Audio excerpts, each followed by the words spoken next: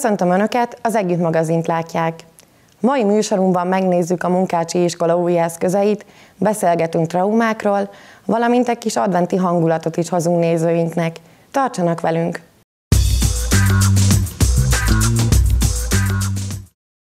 Valódi és digitális játszóteret is kaptak a Munkácsi Mihály általános iskola tanulói.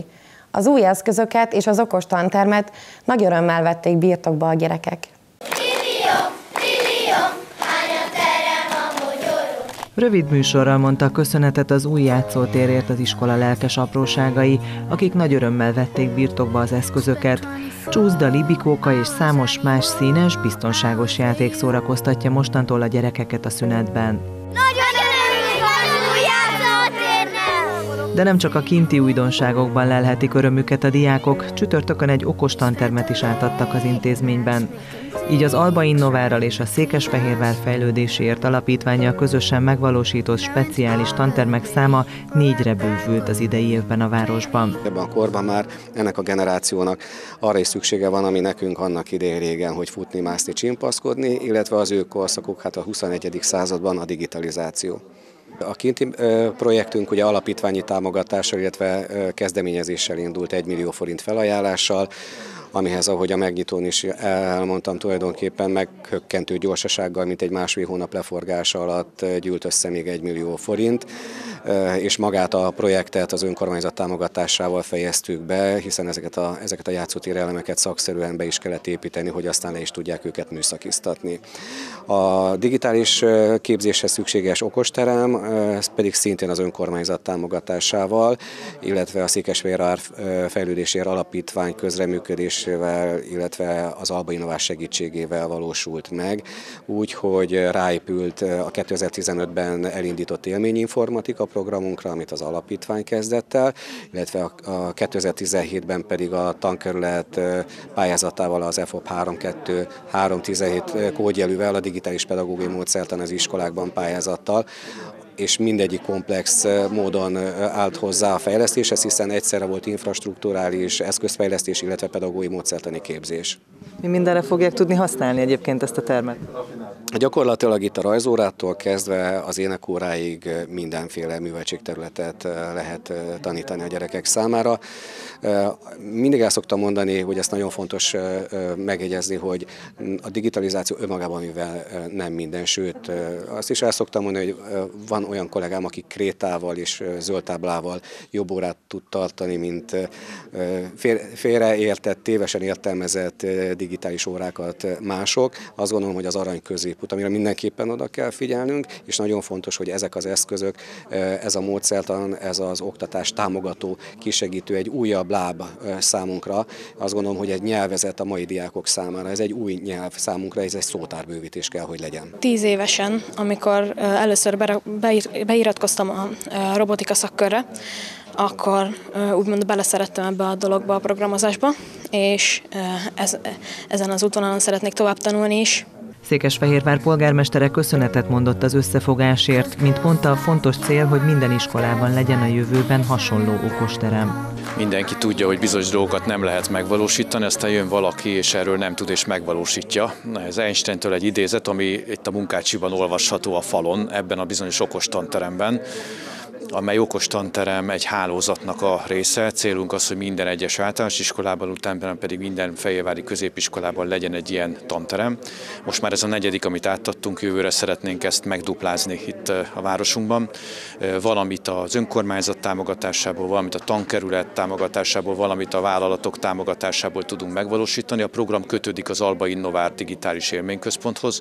Abból is az első volt az országban, ami megvalósult a mi városunkban, és ezekből a tanterem tantermekből is. De ami nagyon fontos, hogy ez a tanterem több mind eszközök halmaza, több mind újfajta bútorok, több mind nem frontális oktatás. Ez csapatmunka, és a csapatmunka legfontosabb eleme pedig a felkészült és felkészített tanár. Nem csak az informatika tanár, hanem a magyar tanár, a töri tanár, a matek, a fizika, a kémia tanár, hogy mindenki a saját tantárgyát ezzel az eszközparkkal tudja élményszerűen átadni a fiataloknak. Ezért a program az egyszerre szól egy-egy tanterem felújításáról, szól a csapatmunkáról, szól az új eszközökről, és szól a tanárok továbbképzéséről. Itt a munkácsiban is hat tanár érint ez, akik pedig a tanárkollégákat fogják erre a módszertanra megtanítani, mert hogy itt egy módszertanról van szó, ez adja a tartalmi jelentőségét ennek a programnak.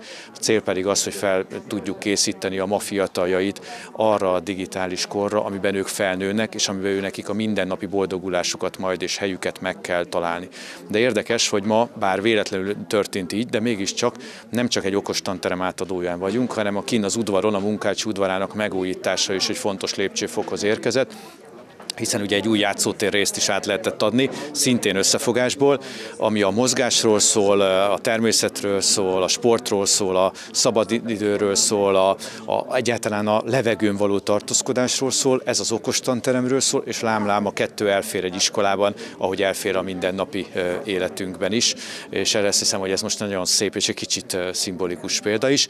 Laufer Tamás az alapítvány kuratóriumi elnöke kiemelte, az eszközök biztosítása mellett a pedagógus pedagógusok képzésére is nagy hangsúlyt fektetnek. Amikor látom egy iskolának, egy intézménynek az igazgatóját, látom a tanárait, akik ugyanolyan lelkesedéssel, ugyanolyan, ugyanolyan motivációval bírnak, amikor egy ilyen terem, termet, hogy milyen tulajdonokba vesz, vehetik, és már ők is úgy várják, mint hogy a gyerekek várják a jó falatot, a jó, jó, jó megtanulni valót, vagy jó játékot, ugyanúgy a tanárok is várják azt, azt a fajta képzést, amit az Albai Novár hétről hétre átad nekik, és ők utána továbbadhassák a rendszerbe. És el kell mondanom, hogy a munkácsi, hiszen ez már szeptemberben kezdtük el e, igazából ezt a programot itt a munkácsi iskolába, a legaktívabb iskolák közé tartozik, vagy ha nem a legaktívabb ebbe a pillanatban. A munkácsiban a fejlesztések sorait nem áll meg. A közeljövőben összesen 250 millió forintot fordít az intézmény felújítására Székesfehérvár önkormányzata. A hamarosan kezdődő nagyszabású fejlesztésnek köszönhetően korszerűsítik a vizes blokkokat és megtörténik az épület teljes körű energetikai felújítása.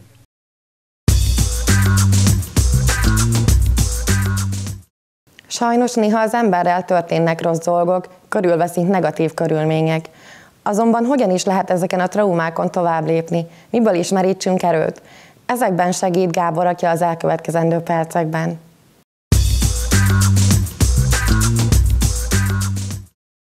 A stúdióban köszöntöm Tornyai Gábort, az Öreghegyi Plébánia plébánosát, aki most mint mentálhigiénés szakember is jelen van. Köszönöm szépen, hogy elfogadtad a meghívásomat. Most köszönöm. A traumákat helyezzük most a mai beszélgetésben fókuszba. Azért gondoltam erre a témára, mert nagyon szeretünk a pozitív dolgokról beszélni, és általában mondjuk a tévében is azokat próbáljuk megjeleníteni, de néha azért foglalkoznunk kell olyan dolgokkal, ami a hétköznapokban történnek az emberekkel, és bizony-bizony fontos, hogy traumát okoznak, és ezáltal az emberek élete rossz irányba is fordulhat, holott lehet, hogy ha megtanulunk egy-két trükköt, vagy akár majd megbeszéljük ezt is, hogy akár tudjuk, hogy hova kell fordulni, akkor, akkor lehet, hogy sokkal jobban tudjuk ezeket megélni. Beszéljünk egy picit arról, hogy a trauma az egyébként miből fakad, vagy, vagy ugye én azt úgy gondolnám, úgy értelmezném, hogy ez egy nagyon egyénfüggő dolog, hogy kinek mi a trauma. Igen, azt, azt gondolom, hogy valami, valami ilyesmire talál megközelítése. Az én világképem szerint mindannyian arra törekszünk, hogy valamiféleképpen biztonságban legyünk. Gyerekkorunktól kezdve akkor tudunk igazán kibontakozni, akkor tudunk igazán jól növekedni, fejlődni, hogyha valamiféle biztonság van körülöttünk, valamiféle biztonságban tudjuk, meg tudjuk magyarázni magunknak a világ működését, látjuk, meg azt gondoljuk, hogy látjuk az összefüggéseket, és, és egy olyan rendszer épül föl körülöttünk, aminek a, a szabályait mi ismerjük, vagy éppen mi alakítjuk.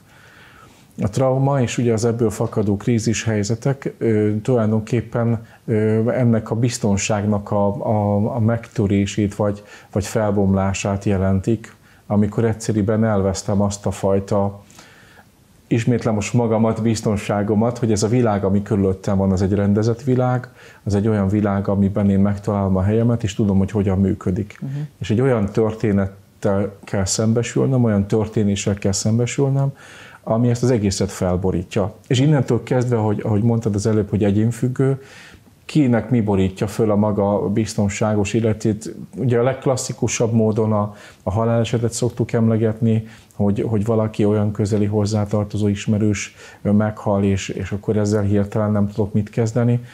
Vagy ilyen tipikus helyzetek, mondjuk a, a balesetek, amikor, amikor egyszer csak olyan dolog történik, olyan dolog csap be ilyen villámszerűen, amire nem számítottam, de hogy én azt gondolom, hogy egészen hétköznapi traumáink is lehetnek, amikor a, a kedvenc bögrém összetörik, uh-huh. és akkor, akkor, akkor az a, pedig annyi minden emlék kötődött hozzá, hogy és most aztán mi lesz most velem, és hogy uh-huh. akkor hogyan lesz tovább majd az életem. Tehát egy nagyon széles spektrum van, és azt hiszem, hogy igazából a kérdés az, hogy, hogy, hogy nekem milyen eszközeim vannak arra, hogy ezt az elveszett egyensúlyomat helyre tudjam állítani. Uh vannak, akiknek ez nagyon könnyen megy, és vannak, akiknek kevésbé. Igen. Tehát, és azért mondtam ugye ezt, hogy nyilván egyén függő, de hogy vannak tényleg olyan emberek, akik nagyon könnyen túl tudnak lendülni. Egy-két nap, és azt mondja, hogy felállok és csinálom, most gondolhatnék arra, hogy akár egy betegséggel kapcsolatban, tehát hogy mondjuk egy rossz hírt közölnek valakivel, nehogy Isten rákos betegségek kapcsolatban, és azt mondja, hogy na jó, akkor kidühöngöm magam mondjuk két nap alatt, és felállok és csinálom. De vannak, akik meg nem így élik meg ezeket. Igen. Azt hiszem, hogy itt megint az a, az a egyik fontos szempont, hogy, hogy, hogy például gyerekkoromtól kezdve nekem mennyire volt biztonságom, és hogyan tanultam, tanul, tanítottak meg arra, hogy, hogy a világot valamilyen mértékben helyre lehet állítani. Tehát, hogy, hogy ugye ezt a, a klasszikus ilyen gyász folyamatként, vagy krízis folyamatként is lehet erre a helyzetet tekinteni.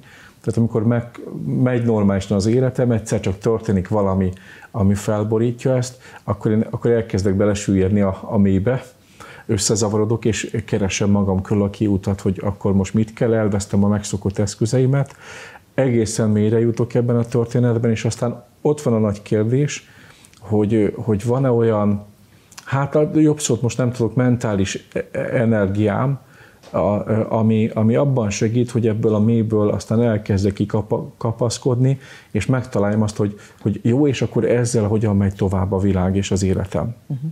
És hogyha valakinek nincs meg ez a fajta eszközkészlete, technika készlete, akkor ott van az a veszély, hogy beleragad ebbe a sötétségbe, és akkor, akkor vagy elveszik, és nem tud rendesen, normálisan tovább működni, a jobbik eset az, hogyha, és szerintem ez, a, ez, a, ez a, talán egy nagyon fontos egy, egy ilyen helyzetben, hogy, hogy találjak olyan valakit, aki tud nekem ebben segíteni. Emberi szinten itt jöhetnek elő a barátok, uh-huh akik mondjuk odállnak mellém, nem biztos, és szerintem, ha most így a nézők felé is fordulatok, hogy nem biztos, hogy az a segítség, hogy okos dolgokat mondok a másiknak, hanem hogy sokkal inkább azt éli meg, hogy ott vagyok mellette. Uh-huh. És ez lehet, hogy szótlanság és uh-huh. jelent, szótlanságot is jelent, vagy lehet, hogy csak egy ölelést jelent, vagy egy érintést jelent. Mert hogy a szak, ilyenkor a kívülálló sem tudja, hogy na, akkor most mit mondjak neki. Most, most minden szó olyan butaságnak tűnik, meg, meg gyengének tűnik, de ha, ha csak annyit megérez az, aki éppen benne van a mélyben, hogy nem vagyok egyedül, szerintem talán ez a legfontosabb. A, másik út, ugye, amikor valaki szakemberhez fordul, pszichológushoz, pszichiáterhez, vagy valamilyen csoporthoz, mondjuk nagyon sok olyan csoport létezik, ami mondjuk a betegségeknek a, az elhordozásában, sorstársakkal találkozva, ott van a, hasonló helyzetben levők megértik egymást, vagy ugye most katolikus papként jelenléve a, a hitnek a, a, a megérése, vagy a hitbe való kapaszkodás, hogy nem, nem egyedül vagyok az életemmel. Tehát ugye ez, ez, a, ez az út, ezek az utak közül bármelyik uh-huh. ott lehet, ami, ami valami segítséget jelenthet. Most elég sok mindent felsoroltál így hirtelen, de amikor elkezdted ezt a gondolatmenetet, az jutott eszembe, hogy akkor viszont, hogyha lekerülünk erre nagyon mély pontra, Igen. akkor ugye, és beleragadunk, akkor az már egy depressziós Igen, folyamat abszolút. lehet. Ez hozzátartozik és, ez a folyamathoz. És tehát, hát hogy... nyilván múlik a környezeten az, hogy, hogy ebben mennyire tudunk segíteni mondjuk egy hozzátartozónknak, stb. stb. Igen mi, mi, mikor jön el az a pillanat, amikor szerinted mondjuk szakemberhez kell fordulni? Amikor túlságosan beleragad valaki, például a gyász folyamatnál szokott ez előjönni, hogy valakinek meghal valaki hozzátartozója, és mondjuk éveken keresztül is még mindig ugyanazt a történetet pörgeti magába, és nem tud kiszakadni a gyászból. Tehát, hogy, hogy nem véletlenül mondták a, a régiek azt, hogy, hogy, hogy egy, a, egy gyászévet érdemes megtartani. Tehát a ma világa nem nagyon szeret ezzel találkozni, és azt mondani, hogy jaj, tedd el a képét, vidd el a ruháit, osszét szét a dolgait, ne foglalkozz, élj tovább, ugye ezt, ezt kapja kívülről, az, aki éppen benne van ebben az útban. De hogy például ennek, tehát hogy, hogy egy normális dolog az, hogy, hogy, hogy itt van a karácsony, vagy, vagy, vagy a húsvét, vagy a házasság évforduló, névnap, bármilyen alkalom, ami, ami, ami eszébe juttat bármit vele kapcsolatban, és sír. És nem baj, mert hogy az fáj. Tehát az hozzátartozik a gyógyuláshoz. Uh-huh. Tehát, hogy, hogy, hogy abban, abban kísérni mondjuk egy, egy ilyen nehéz helyzetben levő embert, hogy ő megélhesse azt, amit ő tényleg érez és nem letagadtatni vele. De amikor valaki mondjuk hosszabb időn keresztül ebből nem tud kiszakadni, nem, nem, nem áll vissza az élet egy normális kerékvágásba, akkor ott már gyanakodni kell arra, hogy jó lenne valami szakember talán, és igazából ilyenkor az a nehéz, hogy ezt tehát neki kell kimondani és felismernie. És igen, mert sokan neki... tagadják, hogy nem, igen. nekem nincs bajom. Igen, igen, igen, igen. Mert ugye ez is egy védekezés, mert ha azt mondom, hogy bajom van, akkor baj van. Uh-huh. És hogyha nincs bajom, akkor tulajdonképpen nincs baj, akkor szinte meg se történt, vagy és ezt most ugye a gyász kapcsán mondtam, de, de ugyanez az út meg lehet bármiféle egyéb tragédia kapcsán. Hát ugye egy vállás is lehet, egy vállás is lehet hasonló, ugye, ugye azt szokták is mondani, hogy meg, meg kell gyászolni igen. a házasságot, igen, igen. hogyha valaki igen. válik, és, és nyilván sokan... Ki kell járni annak is az útját a, a depressziótól, a haragon át, a, az egyezkedésen, a alkudozáson keresztül, minden egészen addig, amíg, amíg el nem jön az, hogy akkor ez most az a kép, ami nekem mondjuk az életemben a házasságról volt, egy szép képem, az összetörött, és akkor hogyan tudok én ebből tovább élni, mondjuk adott esetben azt a sebet hordozva magamban, amit, amit mondjuk ez a, ez a csalódás, vagy valamiféle kudarc okozott. Uh-huh. De hogy én aztán azzal együtt vagyok az, aki vagyok, vagy haladok tovább. Uh, hogyha mondjuk valaki kicsit ilyenkor elveszíti a hitét, most, egy, most mint katolikus lelkész kérdezlek, vagy ilyen útvonalon Aha. szeretne valaki mondjuk segítséget kérni, akkor illetve hát fentről segítséget Aha. kérni, akkor azt hogyan tudja visszanyerni? Tehát, hogyha mondjuk mindent, mindenről azt gondolja, hogy itt most mindennek vége, és én többet nem hiszek semmiben. Aha. Ez, én azt gondolom, hogy ez hozzátartozik ehhez az úthoz.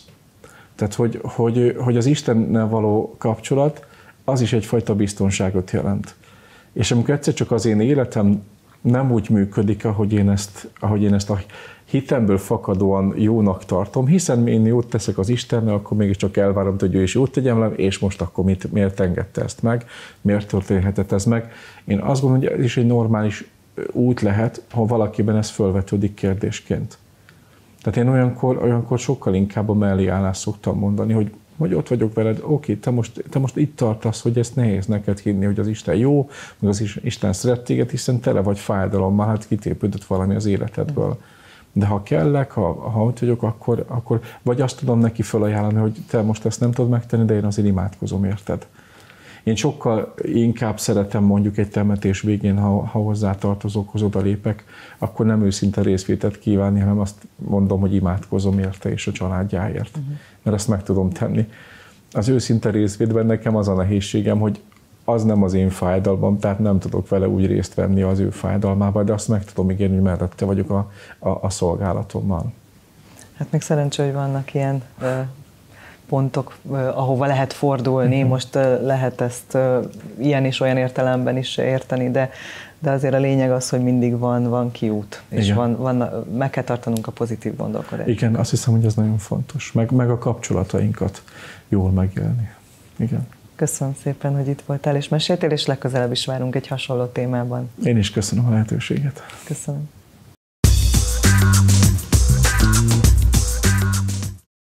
Számos program várta a kicsiket és nagyokat az első adventi hétvégén. A belvárosban és vízivárosban is fellobbant az első láng az adventi koszorún. November utolsó hétvégéjén kezdetét vette az adventi időszak Székesfehérvár belvárosában is. A Püspöki Palota udvarán is meggyújtották az első gyertyát.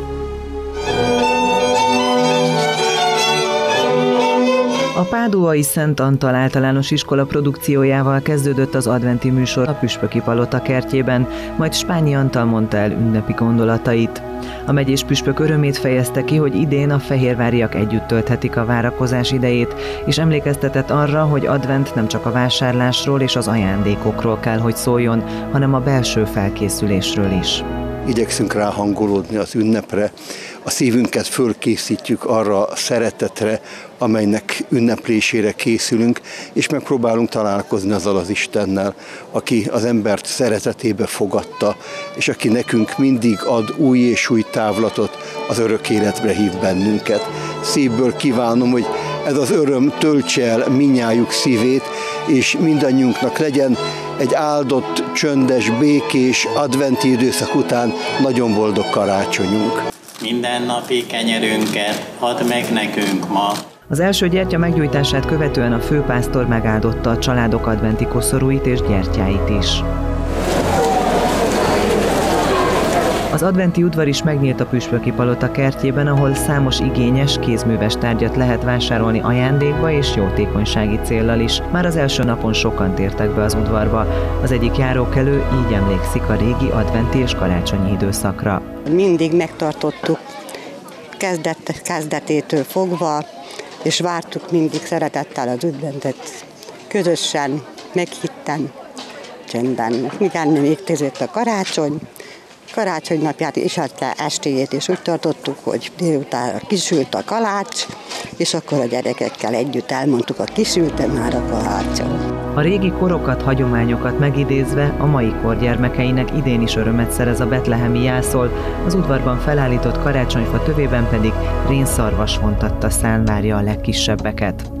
A város adventi koszorúján is fellobbant a láng az első gyertyán, ami a hitet jelképezi a katolikus vallás szerint, ezzel együtt pedig kigyulladtak az ünnepi fények is.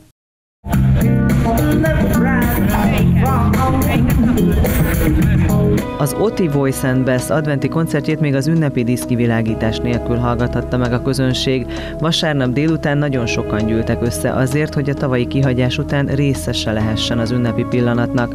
Cserpalkovics András köszöntőjében hangsúlyozta, különleges jelentősége van annak, hogy most együtt lehetünk, és arra bíztat mindenkit, vigyázzunk egymásra, de éljük meg a várakozás időszakát. Találkozzunk, mosolyogjunk, adjunk egymásnak szeretetet, gyülelést, készszogást, és azt, hogy igenis emberek közösségi lényként éljük meg keresztény kultúránk egyik legszebb időszakát.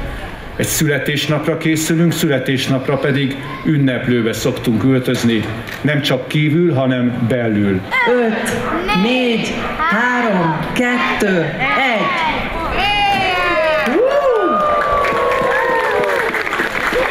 Az ünnepi fényeket Székesfehérvár polgármestere két nevelőszülőknél élő kisgyermekkel, Kisdalmával és Horváth Attilával közösen gyújtotta fel.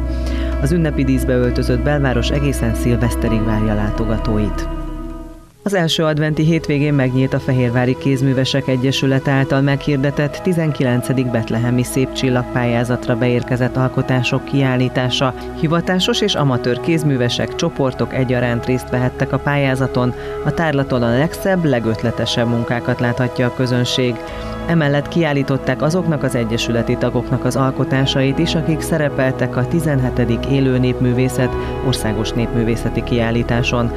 A karácsonyi témakörű alkotások december 22-ig tekinthetők meg a Szent István Művelődési Házban. Száll a hír, a legjobb hír az egész földön át. Isten értünk. De nem csak a belváros bővelkedett adventi programokban, a hagyományokhoz hűen egy év kihagyás után Vízivárosban is elkezdődött a karácsonyvárás. A Vízivárosi adventi programsorozat első szombatján óvodás és iskolás csoportok mutatták be ünnepi műsoraikat a Vízivárosi Általános Iskolában. Az adventi időszak nyitányaként Horváth Miklósné Saci néni Víziváros önkormányzati képviselője mondott szívhez szóló beszédet a jelenlévőknek, melyben örömét fejezte ki, hogy egy év szünet után ismét meg lehet rendezni a karácsonyi várakozás programjait. Minden rosszban van valami jó. Na hát a jó az, hogyha megtaláljuk benne ezt a jót, és ezt a jót csak úgy lehet megtalálni, hogyha az ember ebbe a lármás közéletbe és ebbe a teljesen megzavarodott világba egy kicsit próbál tudatosan elcsendesedni. Mert erre az elcsendesedésre van szükség ahhoz, hogy az ember ezt az úgynevezett várakozási időszakot ki tudja használni, és tudja azt végig gondolni, hogy valójában mi is a fontos az életében, mi a fontos és mi a nem fontos.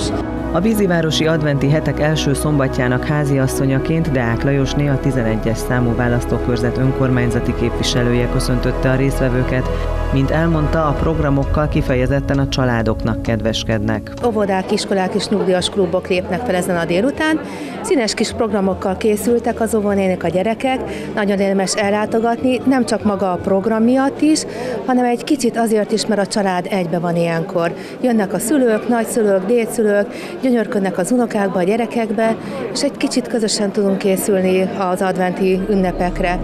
Az ünnepi műsorok részeként Berze János református lelkész osztotta meg gondolatait az egybegyűltekkel, beszédének legfontosabb alapköve a szeretet és annak szükségessége volt. Az adventi programok négy héten keresztül tartanak, amelyek által mi magunk is átszellemülhetünk, és az ünnephez méltóan készülhetünk karácsonyra.